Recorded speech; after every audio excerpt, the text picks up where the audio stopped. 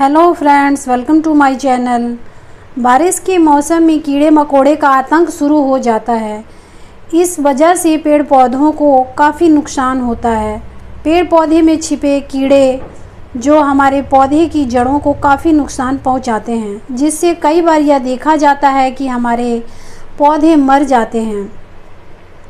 Friends आज मैं एक ऐसा फर्टिलाइज़र आपके साथ शेयर करूँगी जो आपके पौधे को पूरी बारिश में स्वस्थ रखेगा। इसके लिए फ्रेंड्स पानी ले ले।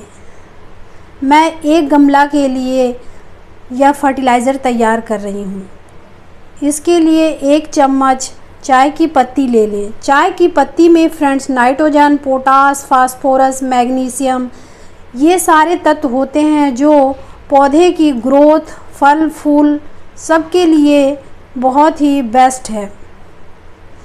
इसके बाद फ्रेंड्स आप एक चुटकी हींग ले लें। आप ज़्यादा पौधे के लिए बना रहे हैं तो मात्रा ज़्यादा कर लें। इसके बाद फ्रेंड्स ये घोल कर, ढक कर पाँच से छः दिनों के लिए इसे रख दें।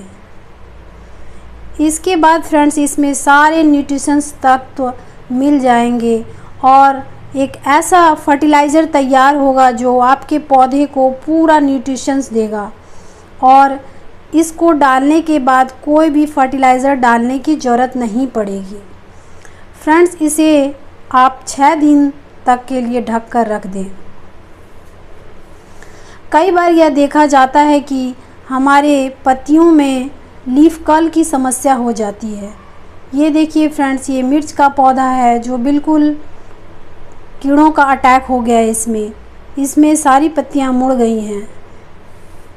सारे मुड़े हुए पत्तों को मैं सारे को हटा दूँगी और इसके बाद इसमें या बनाए हुए फर्टिलाइज़र को डालूँगी।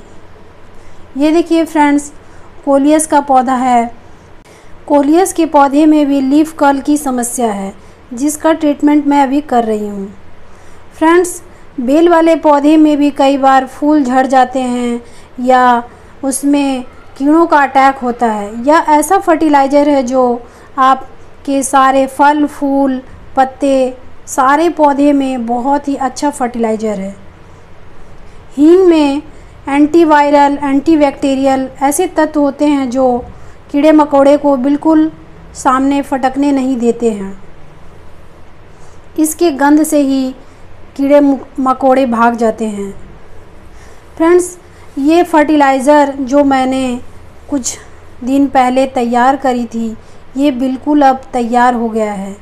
इसे आप छान लें या तो यूँ ही आप अपने पौधे में डायरेक्ट भी डाल सकते हैं।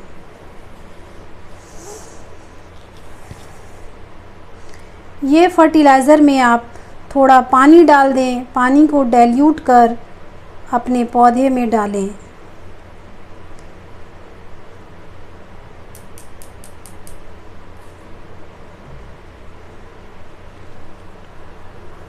अपने मिर्च के पौधे में मैं यह फर्टिलाइज़र को डाल रही हूँ। इस फर्टिलाइज़र का इस्तेमाल आप गुलाब के फूल या फूल, फल, पत्ती, सारे पौधे में इस फर्टिलाइज़र का आप इस्तेमाल कर सकते हैं। इससे आपके पौधे की ग्रोथ बहुत अच्छी हो जाएगी और कोई कीड़ों का अटैक बिल्कुल नहीं होगा फ्रेंड्स इसे आप ट्राई करिएगा, ये बहुत ही बेस्ट फर्टिलाइज़र है।